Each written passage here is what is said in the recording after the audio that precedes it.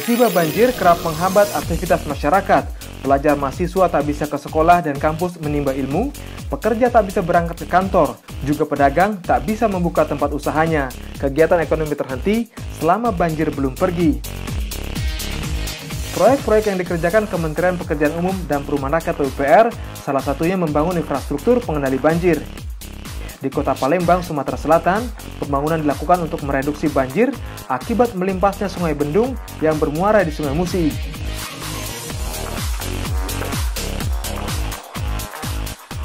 Kota Palembang ini mengalami beberapa titik genangan banjir pada saat musim hujan. Yang wilayah kita tangani berada untuk pada subdas Bendung Kota Palembang salah satu sungai aliran yang ada di kota Palembang. Sungai Bendung sering melimpas dan mengakibatkan genangan seluas 285 hektar karena pada saat musim hujan terjadi arus balik atau backwater dari Sungai Musi. Upaya mengurangi banjir dilakukan dengan cara mempercepat aliran Sungai Bendung dengan normalisasi sungai dan pembangunan pompa banjir di hilir Sungai Bendung dilengkapi dengan kolam retensi dan pintu otomatis yang dikerjakan Kementerian PUPR melalui Balai Besar Wilayah Sungai atau BBWS Sumatera 8 Ditjen Sumber Daya Air.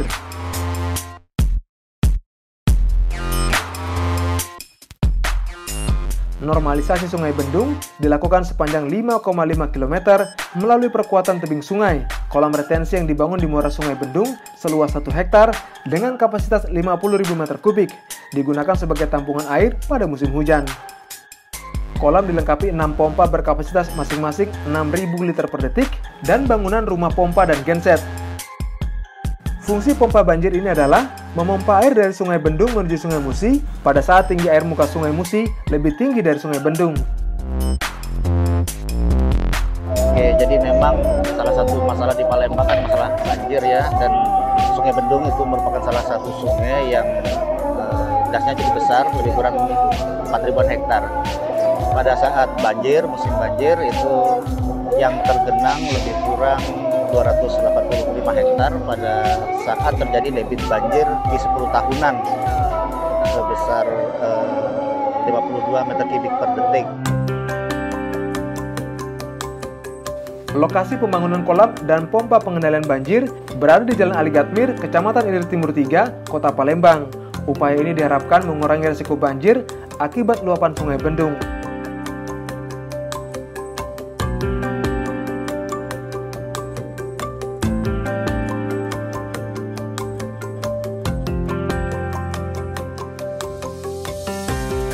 Dilaksanakan normalisasi, pembangunan kolam retensi, dan stasiun pompa, maka luas genangan existing banjir dari sekitar 285 hektar akan berkurang menjadi 46 hektar. Lama waktu pengerjaan juga lebih singkat, dari 16 jam dengan ketinggian genangan 30-70 cm menjadi 3 jam dengan tinggi genangan 10-20 cm. Atau dengan kata lain, banjir dapat tereduksi sebanyak 84%. Pekerjaan pembangunan pompa dilakukan oleh PT SAC Nusantara dan PT Basuki Rahmanta Putra, kerjasama operasi atau KSO. Nilai kontrak sebesar 239,98 miliar rupiah dengan sistem tahun jamak selama 4 tahun anggaran sejak 2015 dan selesai pada 2018 lalu. Pompa pengendali banjir Subdas Bendung Kota Palembang selesai pembangunannya pada bulan Desember 2019 lalu. Ya, pertama masyarakat diharapkan turut menjaga lingkungan, terutama sungai ya, jangan buang sampah sembarangan, terutama juga ke sungai. Kemudian terhadap infrastruktur yang sudah kita bangun, masyarakat juga kami minta ikut menjaga, jangan sampai terjadi perusakan, ya, karena ini kan juga untuk kepentingan masyarakat semuanya.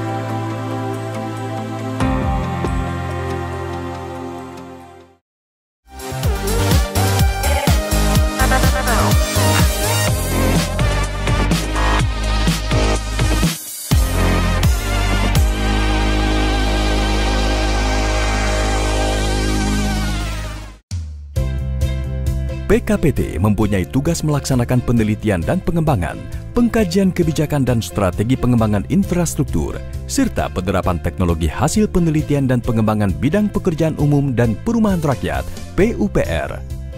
Pusat Penelitian dan Pengembangan Kebijakan dan Penerapan Teknologi dikepalai oleh Kepala Puslitbang Kebijakan dan Penerapan Teknologi, dibantu oleh Kepala Subbagian Tata Usaha, Kepala Bidang Program dan Evaluasi, Kepala Bidang Sumber Daya Kelitbangan, Kepala Bidang Kajian Kebijakan dan Kerjasama, serta Balai Litbang Penerapan Teknologi Sumber Daya Air, Balai Litbang Penerapan Teknologi Permukiman, dan Balai Litbang Penerapan Teknologi Jalan dan Jembatan. PKPT berfungsi sebagai pendukung akselerasi pembangunan infrastruktur PUPR secara komprehensif dan terintegrasi dengan sektor-sektor di lingkungan Kementerian PUPR melalui penerapan teknologi dari hasil penelitian dan pengembangan Litbang yang lebih kreatif dan inovatif. Dengan adanya PKPT, hasil Litbang menjadi lebih utuh dan terpadu, serta mengarah kepada rekomendasi kebijakan penyelenggara infrastruktur, yaitu terbukti secara ilmiah, layak dari sisi ekonomi, mampu diterima masyarakat, serta yang tak kalah penting yaitu ramah lingkungan untuk memudahkan penerapan teknologi serta koordinasi dengan stakeholder terkait. PKPT menyusun proses yang dimulai dari prototipe teknologi hasil litbang oleh masing-masing litbang terkait, yang kemudian dilakukan pengkajian dan penerapan teknologi oleh balai-balai di lingkungan PKPT, hingga tercipta kerjasama dengan aplikator yang didukung dengan perlindungan hak kekayaan intelektual dalam bentuk paten ataupun hak cipta. Proses bisnis penyusunan rekomendasi kebijakan yang dilakukan PKPT dimulai dari menjawab isu dan permasalahan yang ada. Selanjutnya dianalisis menggunakan metode penelitian yang tepat. Dan pada akhirnya menghasilkan rekomendasi kebijakan yang dibutuhkan pimpinan dalam pengambilan keputusan. Keberhasilan dari penelitian tak lepas dari sumber daya manusia yang kami miliki. PKPT didukung oleh SDM yang terdiri dari para peneliti handal, perekayasa, dan jabatan fungsional lainnya.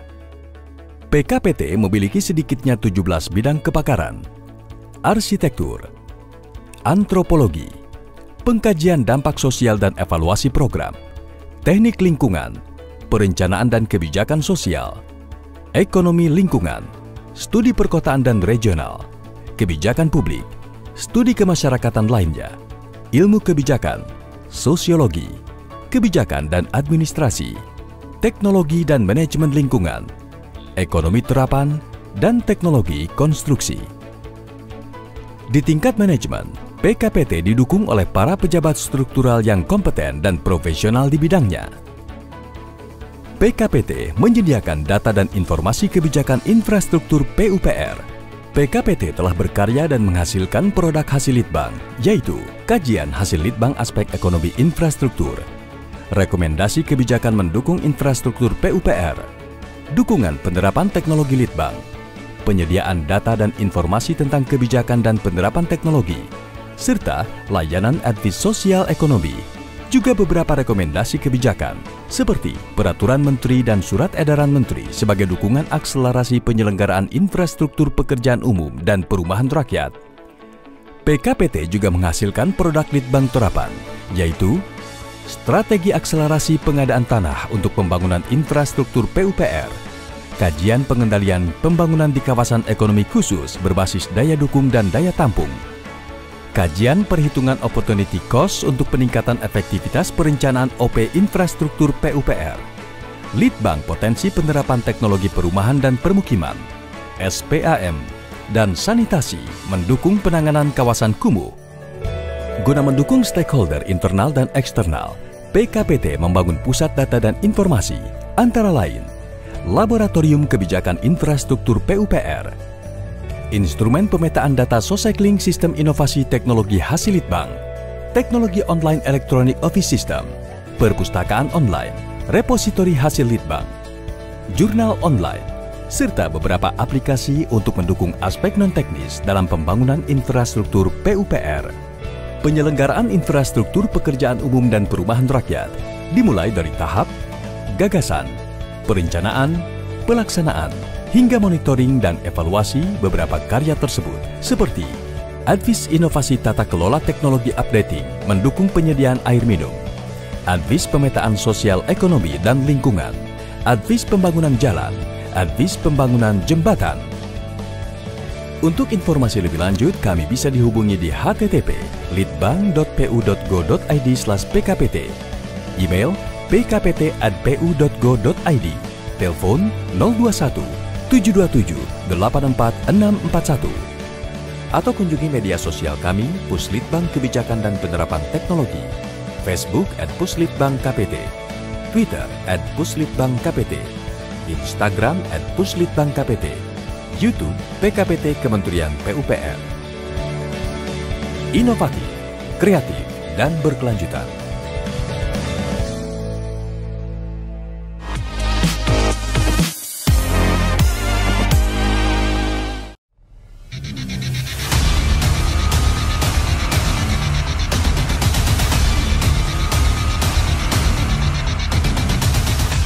Seperti magnet, Jakarta selalu menarik kaum urban untuk datang. Ini membuat populasi di ibu kota melesat cepat.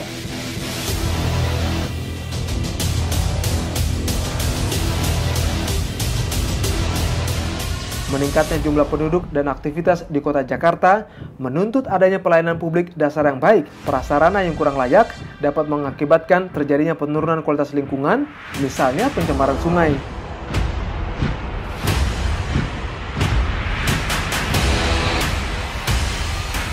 Hal ini disebabkan 90% air limbah domestik dibuang ke laut dan sungai atau bawah tanah melalui septic tank tanpa diolah sehingga 96% air perkotaan di Jakarta dalam kondisi tercemar berat. Pengolahan air bersih dan limbah cair menunjukkan bahwa air limbah domestik dan air limbah perkantoran merupakan penyumbang terbesar pencemaran air di wilayah Jakarta. Sanitasi memang faktor penting dalam masalah pencemaran air.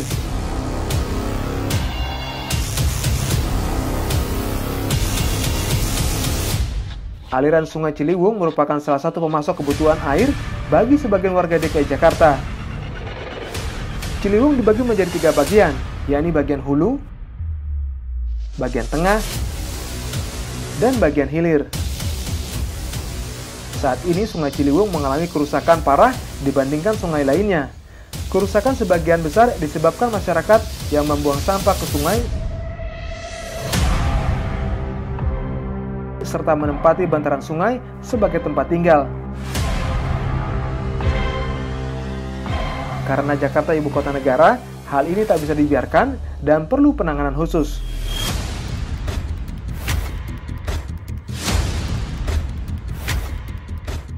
Pemerintah dalam hal ini Kementerian Pekerjaan Umum dan Perumahan Rakyat PUPR melalui Balai Besar Wilayah Sungai Ciliwung melaksanakan normalisasi Sungai Ciliwung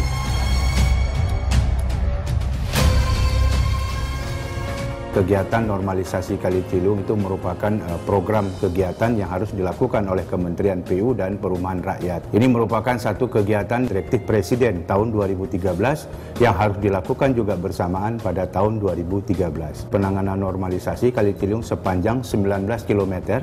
Kita mulai dari pintu air Manggarai dan kita akhiri dari jembatan tol Sibi Simatupang. Uh, kondisi saat ini uh, adalah kapasitas aliran tampung Kali Ciliwung ini hanya lebih kurang sekitar sekitar 200 meter kubik per detik dan ini kita normalisasi, kita tingkatkan kapasitas tampung aliran menjadi 570 meter kubik per detik.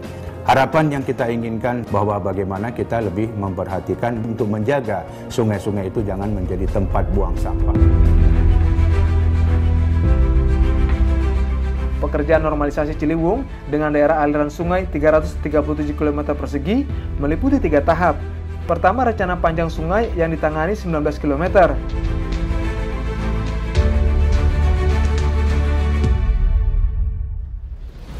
Kedua, rencana panjang tanggul yang dikerjakan 31 km.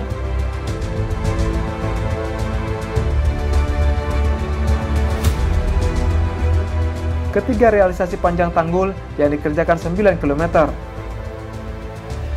Normalisasi Sungai Ciliwung memiliki panjang 109 km yang berhulu di Gunung Pangrango terbagi menjadi empat ruas. Ruas pertama dari pintu air Manggarai hingga jembatan Kasablanka. ruas kedua dari jembatan Kasablanka hingga jembatan Kalibata.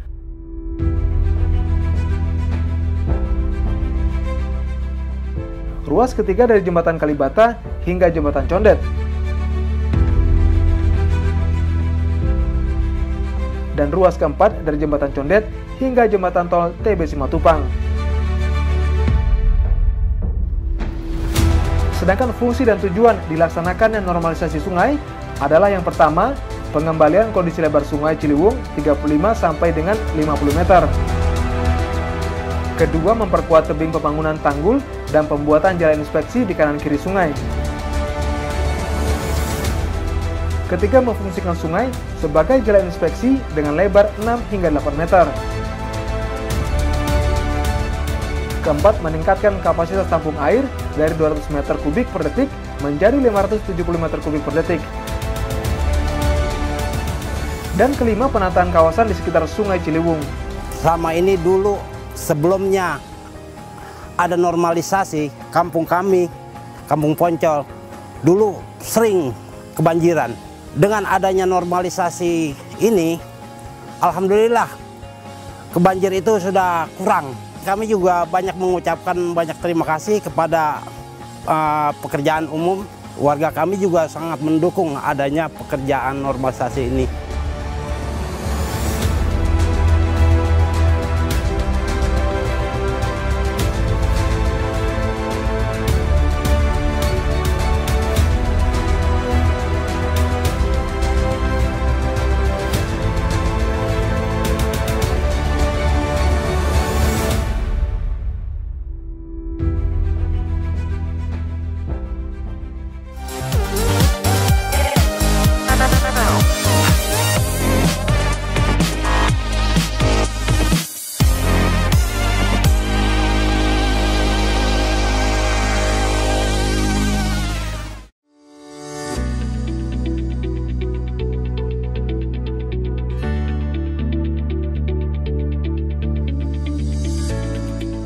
Pusair adalah salah satu dari empat institusi penelitian dan pengembangan di bawah Kementerian Pekerjaan Umum dan Perumahan Rakyat.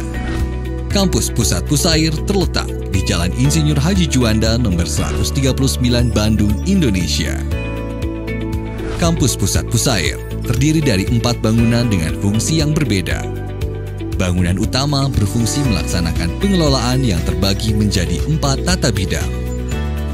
Selain bangunan utama, terdapat tiga balai penunjang dengan laboratorium khusus yang terdiri dari Balai Hidrologi dan Tata Air,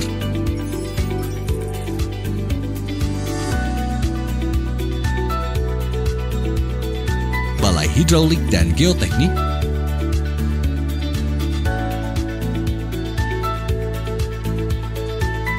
serta Balai Lingkungan Keairan.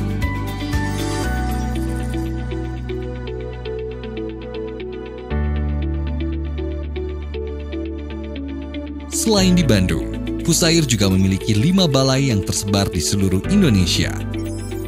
Balai Litbang Pantai yang terletak di Buleleng,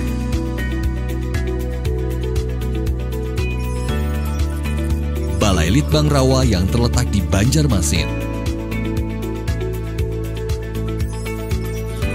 Balai Litbang Sungai yang terletak di Surakarta,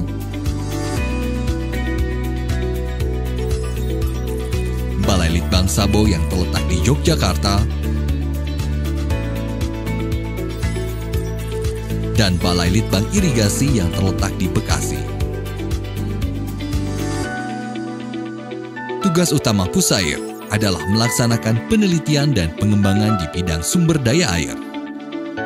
Fungsi Pusair adalah melaksanakan implementasi teknologi, uji laboratorium dan lapangan, evaluasi, standar dan pedoman, kerjasama, dan pengelolaan dan edukasi.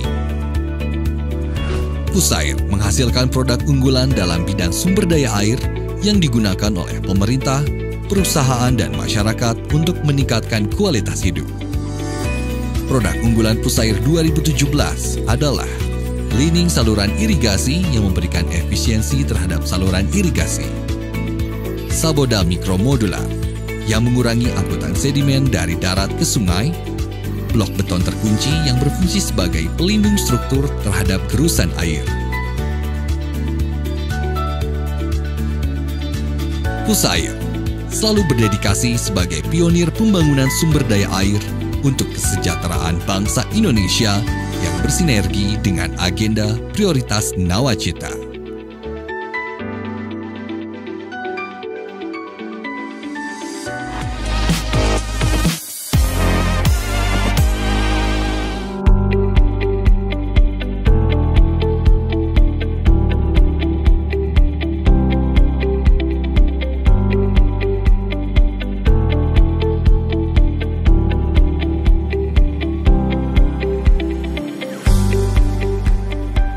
Kementerian Pekerjaan Umum dan Perumahan Rakyat PUPR tengah menyelesaikan penataan kawasan permukiman nelayan dan tepi air di 11 lokasi.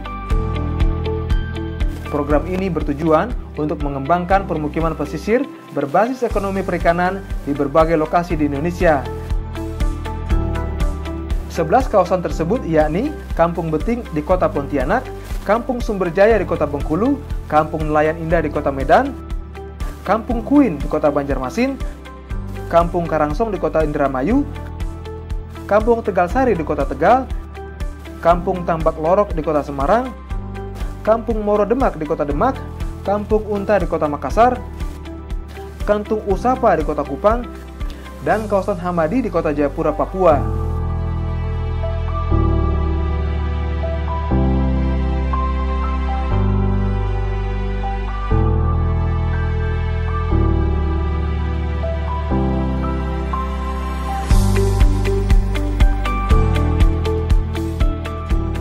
Program pengembangan kawasan pemukiman, nelayan, dan kampung tepi air tidak hanya memperbaiki fisik infrastrukturnya saja, tetapi juga mengajak masyarakat untuk meningkatkan kualitas hidup dan lingkungan. Caranya dengan melakukan perencanaan bersama-sama antara pemerintah dengan masyarakat.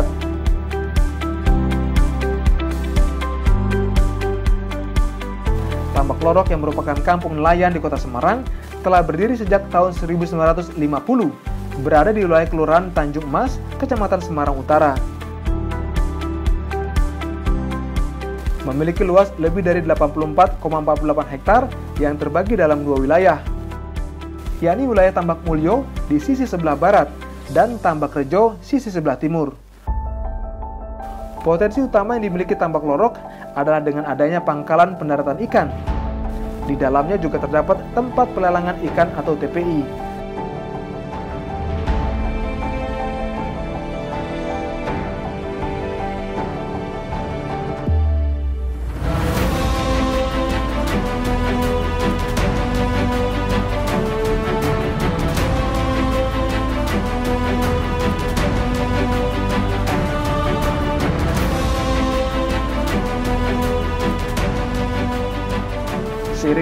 berjalannya waktu, kampung ini berkembang sebagai kampung dengan kepadatan yang tinggi. Akibatnya kualitas lingkungan menurun. Sehingga terjadi banjir rob, pendangkalan alur muara sungai, drainase, sanitasi yang tidak memadai, pemukiman kumuh, penurunan muka air tanah, dan intrusi air laut.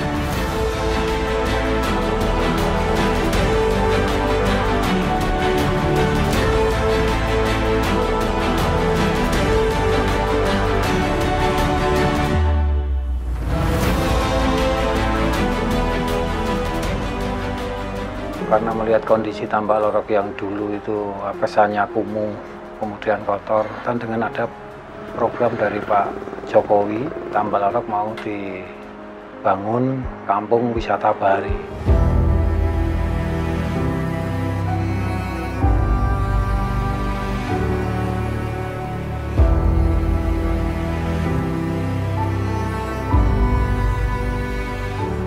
Pada 2 Desember 2014, Presiden Joko Widodo melakukan kunjungan kerja ke Kampung Tambak Lorok. Hasilnya, dicanangkanlah kawasan Tambak Lorok sebagai kampung bahari.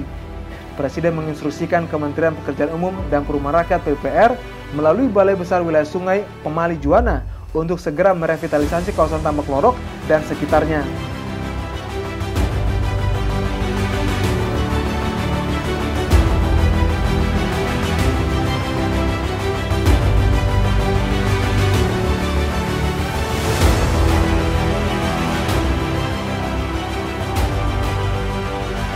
Secara umum ada tiga kegiatan besar, yaitu normalisasi alur, kemudian perkuatan tebing oleh CCSP dan Spoonpile, serta pembangunan parapet untuk menahan supaya rob jangan masuk. Kegiatan ini berlangsung dari 2015 sampai Oktober 2017 ini dengan progres sekarang di 89%. Manfaatnya nanti apabila setelah tambak lorok ini selesai, alur alur pelayaran kapal milik masyarakat itu tidak akan terganggu lagi. Kita bisa menahan fluktuasi dari air rob dari muka air laut. Manfaat berikutnya adalah alur yang sudah diperdalam dinormalisasi itu bisa digunakan oleh pelayaran kapal penangkap ikan milik masyarakat.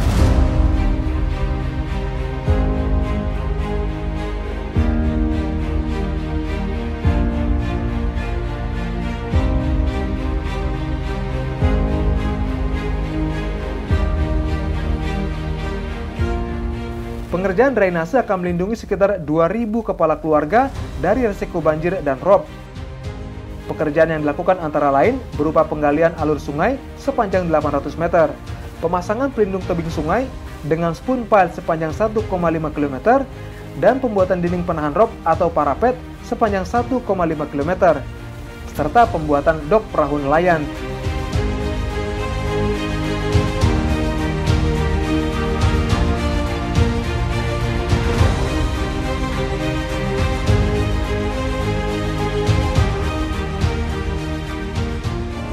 Sebelum ada pembangunan sipel ini itu nelayan memang agak kesusahan dalam hal mau berangkat maupun ataupun pulang. Kemudian dengan adanya program apa dibangunnya sipel ini, nelayan mau berangkat jam berapapun tidak masalah, tidak takut dengan adanya air surut. Selain pengembangan drainase, Dirjen Cipta Karya juga melakukan pekerjaan pengembangan kawasan pemukiman nelayan Tambak Lorok. Pekerjaan dilakukan sejak tahun 2017 dan telah selesai pada 2019. Anggaran yang digunakan sebesar 37,6 miliar rupiah.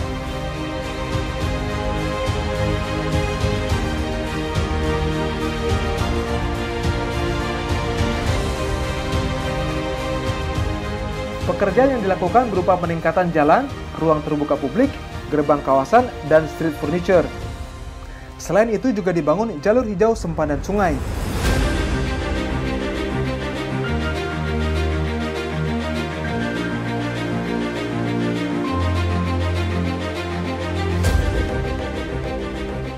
Untuk mendukung ekonomi masyarakat sekitar, Kementerian PUPR membangun pasar tampak lorok dengan adanya proyek pembangunan Kampung Bahari, diharapkan dapat meningkatkan kesejahteraan warga sekitar, serta mampu menjadi solusi bagi penataan kawasan kumuh dan memberi kenyamanan bagi warga masyarakat. Selain itu, nelayan akan lebih mudah memarkirkan perahunya di lokasi yang lebih dekat dengan rumah warga atau perkampungan.